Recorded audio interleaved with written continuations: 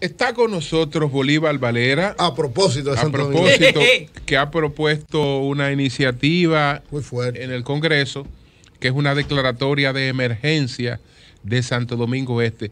Poli, ¿cuál es la situación? Tú que la vives y la conoces. Julio, la situación, bueno, buenos días, Lenchi, José, excelente comentario como siempre, Oli, eh, Gracias, camarada amigo. Eury Camarada y amigo, hermano. y, y Julio.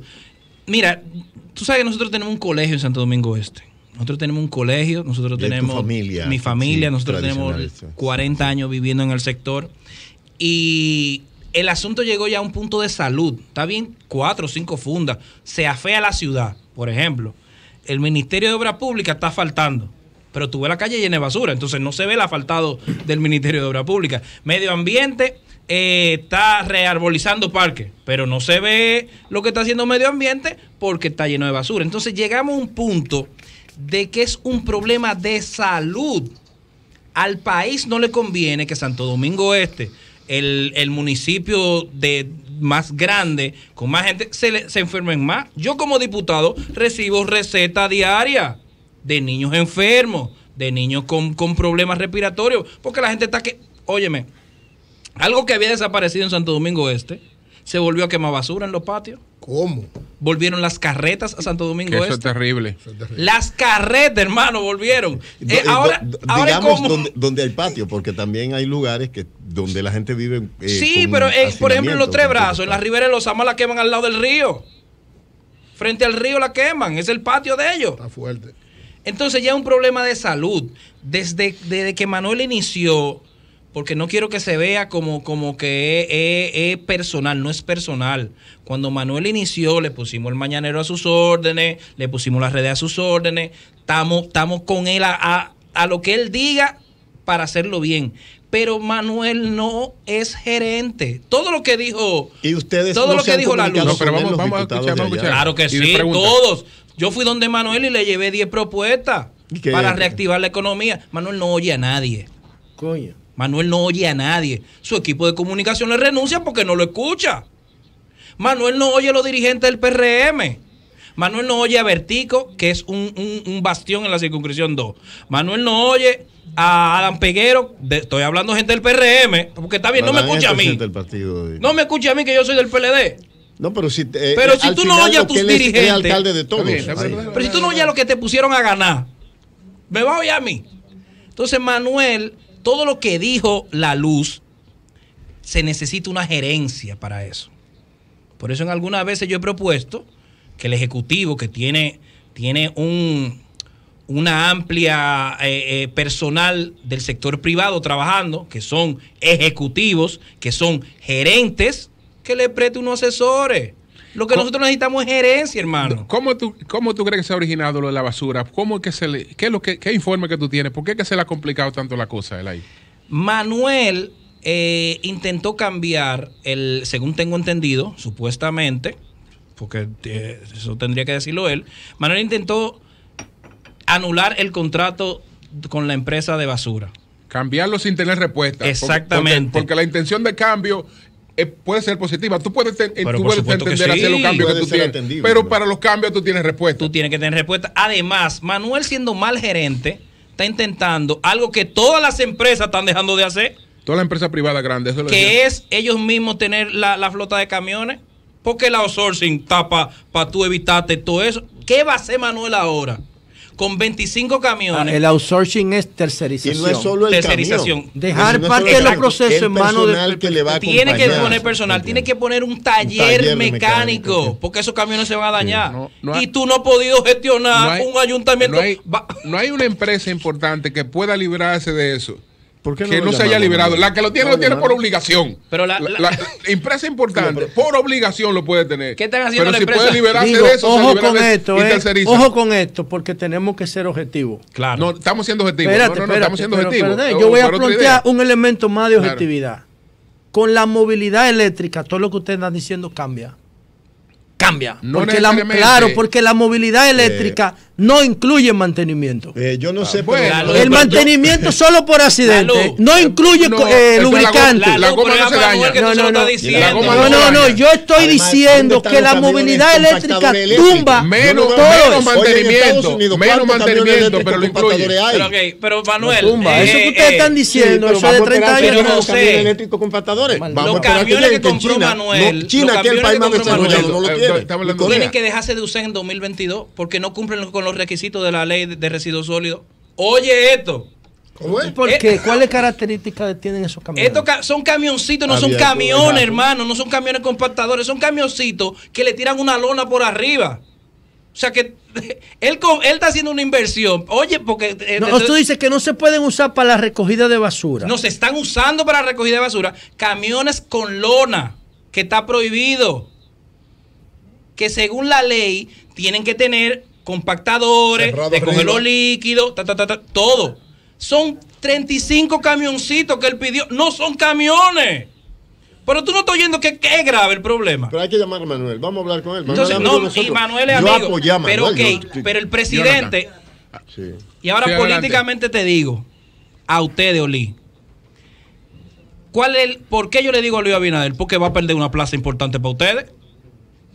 No, pero es que Luis. O sea, tiene que meterse el esa es gobierno una entero. preocupación del presidente. Y yo estoy convencido de que el presidente está en disposición de ayudar a Manuel y de apoyar la alcaldía. Y lo han hecho todos los ministerios. Pero por supuesto que sí. Es decir, que Eh, no- no tengo- hay Ahora, problema. mira, ahora- yo fui ahora a lo que pasa, lo que presidente pasa es que que el gobierno, trabajando por- el gobierno puede intervenir en un operativo. Pero eso, las tareas del ayuntamiento son al tareas del otro día que el gobierno ya terminó el operativo, el problema vuelve. No es que el gobierno tiene que intervenir entero Santo Domingo Este por los tres años que le quedan a Manuel. Bueno, aquí está, Sí, aquí Jonathan, está. vamos a aprovechar, vamos a aprovechar que está- tenemos aquí a Jonathan ¡Ay, el vocero, el vocero! Oye, Jonathan. Él no sabía, no sabía en el lío que se había metido el pobre vocero. ¿Jonathan es vocero de ella? Sí, Claro. sí, sí, Jonathan. sí, sí, Yo no sabía. y el que menos habla de allá. Jonathan.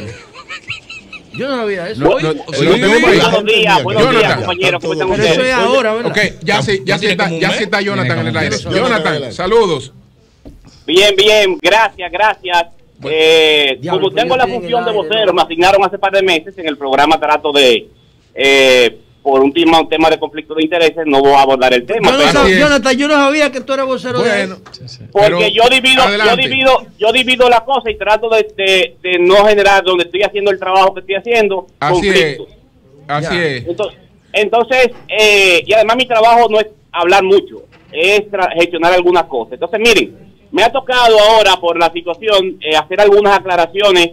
Entiendo el interés del boli y del mismo José La Luz, muy puntual como siempre.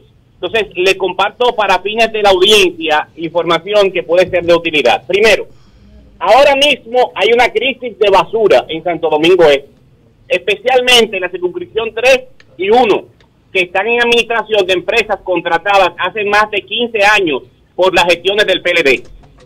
Esas empresas han, de- han sacado los camiones de la calle, ciertamente.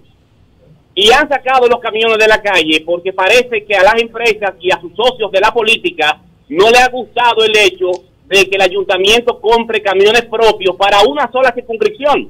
La circunscripción 2, que está al margen del río Sama, que está muy delicada y el ayuntamiento con, con pa- 25 camiones compactadores, no a cielo abierto, eh, boliche de la información, pero parece que cruzó, hizo un cruce ahí, Pero que le fue un dato. Fueron ustedes 10 que subieron la foto, Jonathan, en, en el No. Insta, en el Twitter de la alcaldía. Ustedes hicieron un anuncio de tienes- 10 No, camioncitos. pero tú tienes, tú- tú tienes también fotos de los camiones compactadores, pero te dedicas, has dicho, los 10 camiones para lugares de difícil acceso por tu zona que nunca se recogía la basura y ahora se está recogiendo y pueden abrir las líneas para que la gente llame del sector donde tú eres, eh, donde tú eres diputado, eh, presidente de la Junta de. Pero eso no es el punto. El punto es, el punto es para que la gente comprenda que esta crisis es real y el ayuntamiento está buscando alianzas, hoy la va a anunciar, para enfrentar la crisis, Claro. porque parece que algunas personas solamente ven el servicio de la basura como un negocio.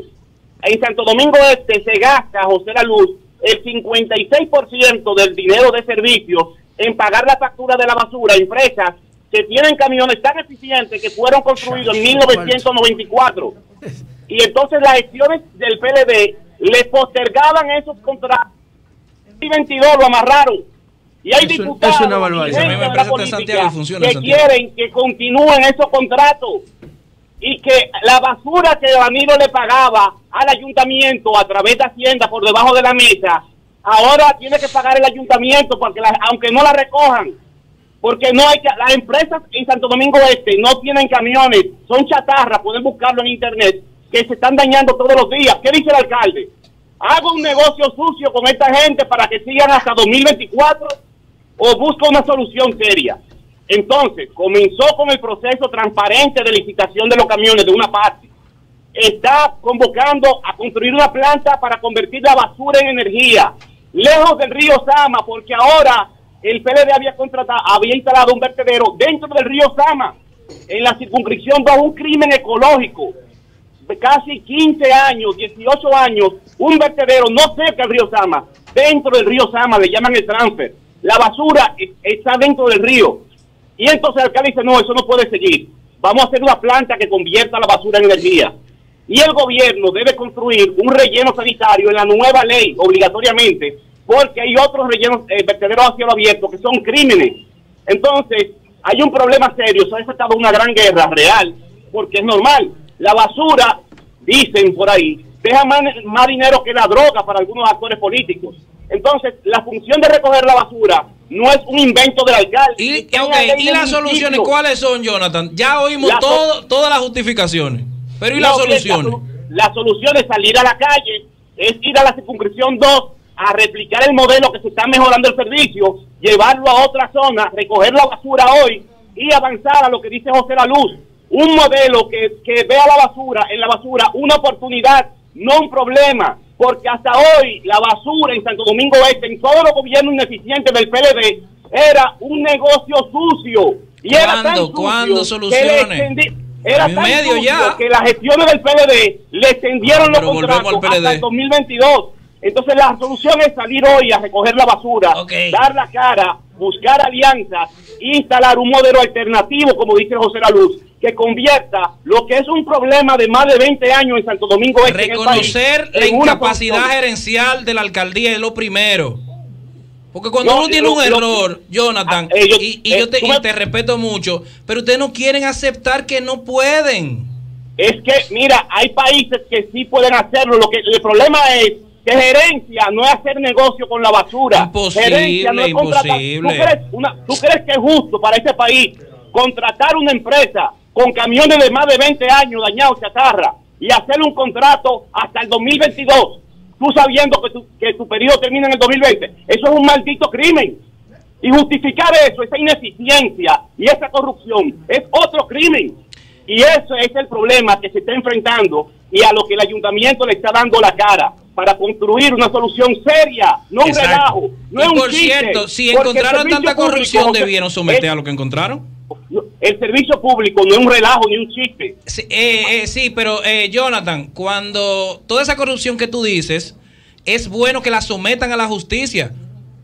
¿O no? Y lo vamos a hacer y vamos a convocar a los bien. diputados y regidores que están comprometidos con el tema para que en el momento que se come, que los atentados contra la sociedad de Santo Domingo Este sean llevados a la justicia, esos defensores, defensores y fiscalizadores están de acuerdo porque estaban callados. Allá Entonces, estaremos. Jonathan, Quería- oye lo que están haciendo algunos diputados, promoviendo que se continúe el contrato con empresas que no tienen camiones, que son todos Ok, viejos. Jonathan, un crimen. Jonathan, entonces la- la- la- el, la- el ayuntamiento da por rescindido los contratos que, que habían. en la circunscripción 3 están, por- están rescindidos. ¿Por qué? Porque esa empresa, esa empresa quería seguir cobrando dinero como lo hacía en el, el pasado, sin recoger la basura. ¿Qué dijo el alcalde? No, pero eso es para delincuentes. Yo seguí pagando basura y que no la recojan como se hacía antes y que den el- y el gobierno ahora por la crisis no puede pagarla, Eh, pagársela como se la pagaba debajo de la mesa antes.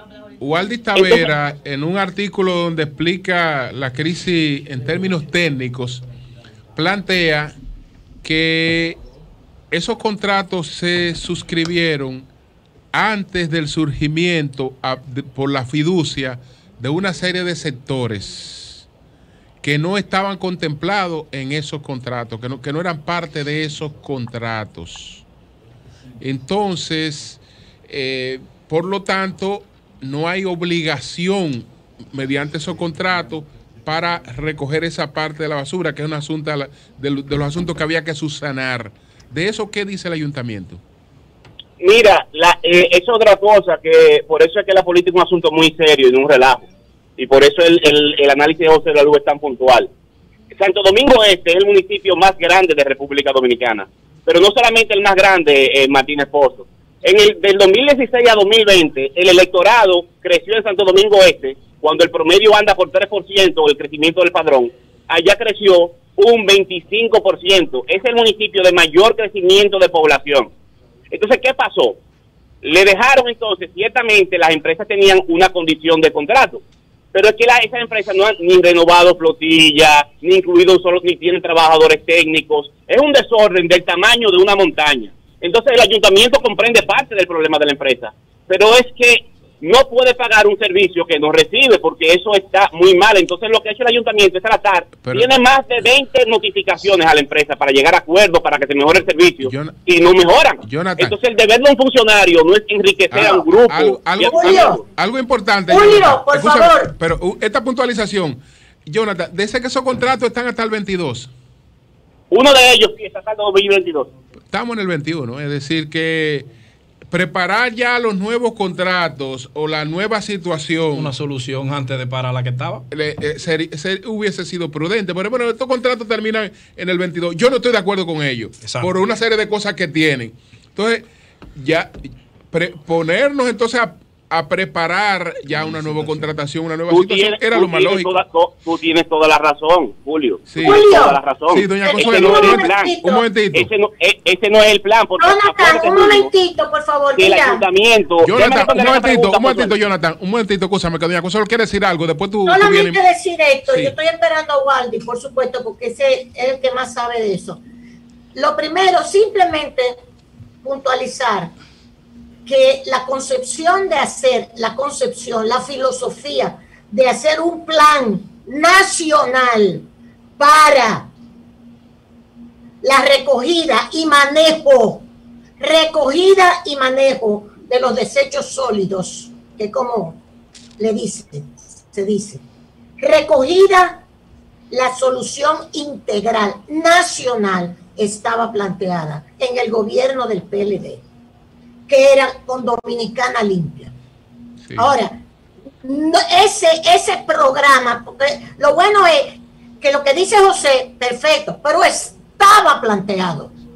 Así es. Con los problemas que hay con la basura, estaba planteado ese plan nacional de recogida y utilización final de los desechos eh, sólidos, es como se le llama. Ahora, no funcionó. Nene Cabrera, en una entrevista que le hicieron, dijo que se habían gastado dos mil millones de pesos en ese plan.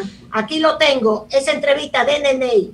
Y que solamente en equipos se habían utilizado 250 millones y que los 1.750 millones restantes no se sabe qué se hizo y que le iban a hacer la auditoría, lo cual sería muy bueno.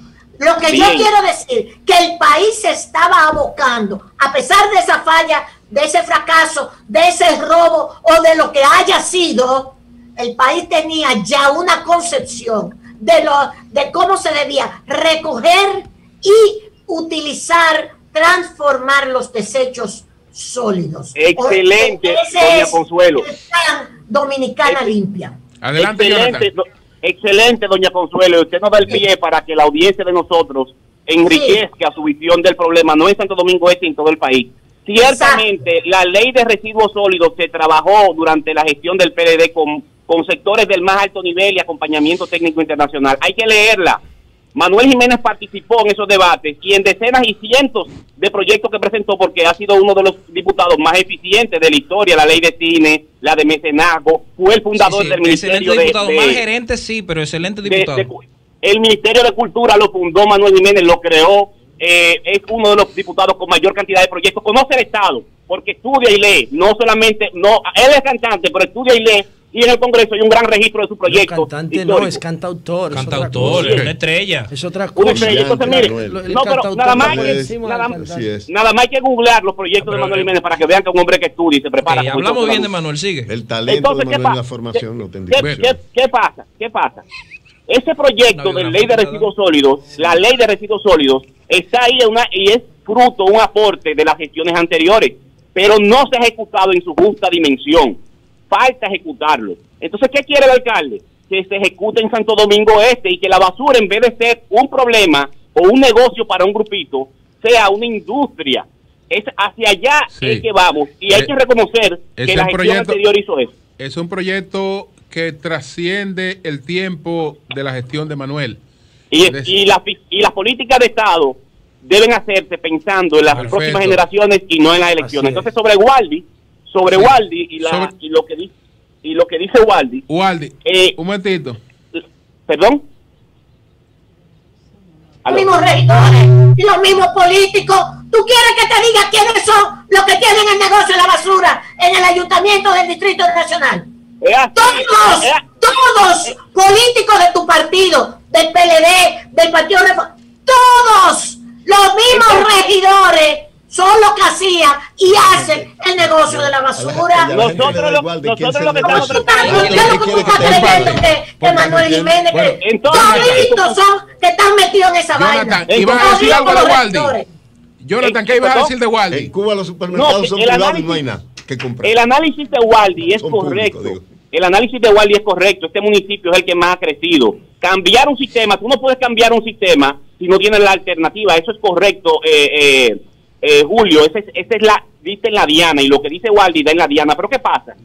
Nosotros no contábamos, el alcalde no contaba que intervenir una sola circunscripción con camiones públicos, la ley es la ley la que manda al ayuntamiento a dar servicio, no entregárselo a otro para después buscar excusas. Pero intervenir en una circunscripción iba a desatar un infierno aquí de actores políticos de todos los sectores en contra de que el ayuntamiento construya una solución que no sea contratar camiones viejos que no recogen la basura. No estaba previsto ese infierno tan grande y tantos aliados que iba a tener el negocio de la basura. Pero a pesar de eso, le puedo Eh. a modo de conclusión decir que hoy el ayuntamiento está en la calle estabilizando el servicio a- con alianzas con el Poder Ejecutivo y otros actores para primero recoger el- y resolver la crisis y luego comenzar a instalar un modelo en el que la basura sea un servicio y no un sucio negocio que tiene vocero y gente en todos los medios, en todas partes. Y tiene que terminar porque esa no será una solución para el bien de la, de la comunidad. Bueno, pues gracias, eh, Jonathan, gracias. Por ulti- eh, Jonathan, espérate, antes de irte, Jonathan, eh, a la, la gente de a pie, la gente normal, no es vocera de ninguna compañía. Hay mucha gente que no es vocera de ninguna compañía de basura. Eso que dices, eh, está faltando la verdad. Santo Domingo Este está sucio, está asqueroso. Reconozcan que hay una falta de gerencia. Es todo. Pidan ayuda. Pidan, mira cómo eh, Carolina tiene alianzas privadas para, para, para los parques. Antes de ayer me enviaron varios parques y, y Manuel no ha podido sentarse con el empresariado de Santo Domingo Este. Manuel no tiene un empresario que le respalde una un, trematica. Entonces es falta de gerencia. Todo lo que él dice está bien. Y el que y si hubo corrupción, bueno, va- y a- que haya cárcel para el que, el que hizo. Pero ¿qué hacemos con los parques? ¿Qué hacemos con la basura? Reconocer, no puedo, no, no te van a matar. O sea, yo no puedo controlar el programa. Tenemos a Mauri, porque a Mauri que sabe hacer eso. Yo no soy productor. Bueno, pues tenemos a la muchacha. Entonces, Lea Jiménez, Lea Jiménez, Lea. Jiménez. Lo que tiene que hacer. Manuel hoy, hoy, hoy, que, sí, que, que tengo entendido que el presidente eh, Abinader está muy preocupado. Pues, pues gracias, que Jonathan, para gracias. allá. Y le Gracias, todo. gracias. eh, Saludos al Boli, un para allá. todos. Es entregarle Bueno. la parte de la El- administración. El nuevo, el nuevo elemento que al no- Ejecutivo. El nuevo elemento que no entiendo, ok, yo no estoy de acuerdo con esos contratos. Una parte de ellos se vencen en el 22. Mire, en lo que yo preparo licitación, en- solamente en lo que yo preparo un proceso de licitación, Se eh, va- pa- se va el periodo. se me va el, Con- se- se me va el tiempo. Solamente Se en va, eso. se va el periodo. Es Se decir, me ve el tiempo. lo sabe un gerente, Julio. Entonces, entonces- yo no conozco, Entonces yo no, no puedo, tengo yo no, con yo no puedo quedarme basura, un año que peleando o, o seis o siete meses u ocho meses peleando por algo que ya viene Eso lo a sabe un gerente. vencimiento. Eso lo sabe un gerente o quien se lleve de un equipo de gerencia. Pero Manuel no es gerente ni quiere dejarse ayudar. El mercado de los minas. O sea, si descalificamos mercado- a, a Manuel, si lo lo- sacamos no, de circulación, que- entonces se resuelve el problema. no, no, como No, gerente. No, él no. es- él es Sí, alcalde. no, no, no. Tiene- él es que alcalde y tiene que cumplir tiene- sus tiene años. las mejores intenciones. Tiene que cumplir sus, sus Es decir, tres Manuel años. tiene- No, ¿cómo saca a Manuel? No, y Manuel Bueno, tiene las es mejores intervenirlo, no entonces imposible. vamos a hablar de políticas. Es no de poner a los ninis a clasificar, a, res- ¿La a política son reducir? No, y a lo reutilizar. Esa es la Los clave. políticos definen la gerencia. Esa es la clave que él tiene que Bien. Fácil. Bien, bien. Bueno, pues señores, vamos a esperar a ver qué, to- qué medida toma el presidente. ¿Qué medida? Porque, porque lo, lo que está planteado ahí es una crisis sanitaria. Vayan a ver cómo está eso para que tengan una idea es una de cuál es la de situación de emergencia que está ahí. Eso es una Es oportunidad. una gran de oportunidad. Ahí Eso es que una oportunidad. intervenir el no es gobierno. Primero solucionar la crisis y después vamos a ver que, cuáles son cuáles son las soluciones de mediano y largo plazo. Pero lo que está pasando ahora hay que Hay solucionarlo. que atender el problema principal, eso es cierto. Sí. Pero Cambio verlo como una oportunidad.